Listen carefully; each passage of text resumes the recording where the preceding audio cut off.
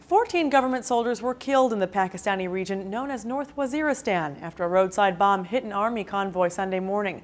It's been called the worst attack on the Pakistani military ever. The BBC and Sky News report. 20 other soldiers were wounded in the attack and at least one vehicle was totally destroyed.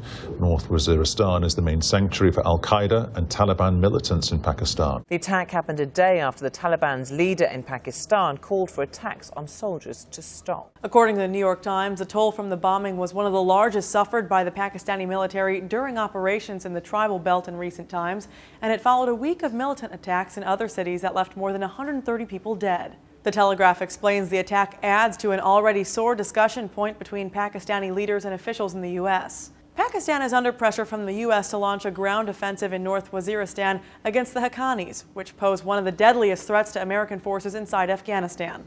But according to Al Jazeera, in the country where 35,000 people have been killed as a result of terrorism since the 9 11 attacks on the U.S., the military is worried that if it targets its enemies in the region, that could trigger a backlash, whereby other fighters in the area turn against the government. CNN reports no group has immediately claimed responsibility for the attack, although it is believed to have been carried out by the Taliban. For Newsy, I'm Candice Aviles, multiple sources, The Real Story.